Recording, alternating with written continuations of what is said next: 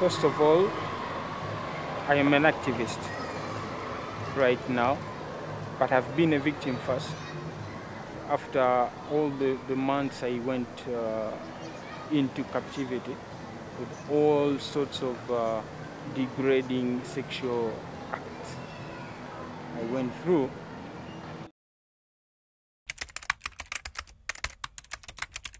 it's the need to defend the voiceless. Because I was myself in that state. And after I've gone through different stages because of the counseling because of the different trainings uh, we got as survivors and then workshops about uh, male survivors of sexual violence started changing my thinking, opening my mind, and then I discovered the need to defend the voiceless who who don't think of any other solution solution out there.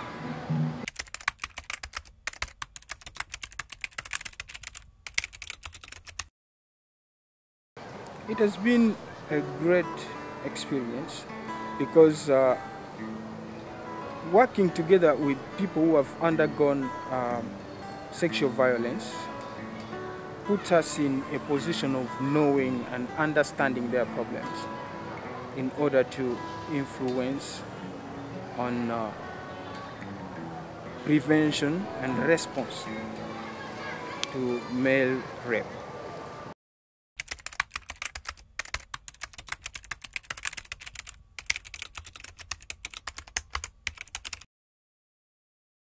When I joined the group, I was able to note, to identify the problem I have and some ways out. I think the group has been really helpful. My belonging in the group is a form of healing and uh, I think the peer counseling has really also helped a lot. And then we carried out as a group some activities which I could not do alone.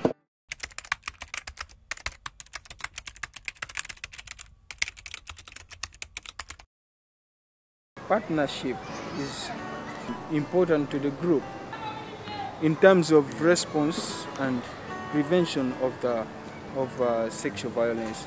For instance, Refugee Law Project is there uh, to help some of the victims to access different services, counseling, medical services, to help the group to, to all activities like uh, awareness raising, like sensitization. Many other partners have really been important. For us to, to speak out the things, we need the media, for instance.